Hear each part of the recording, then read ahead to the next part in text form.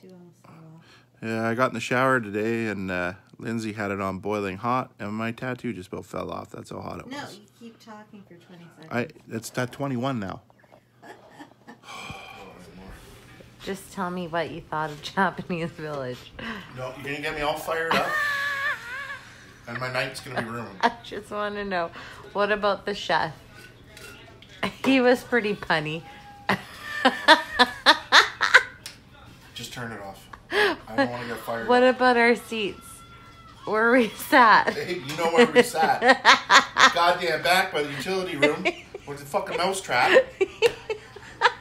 Look, I'm, I'm getting I'm getting mad Are you sick today from? Oh. Salmonella.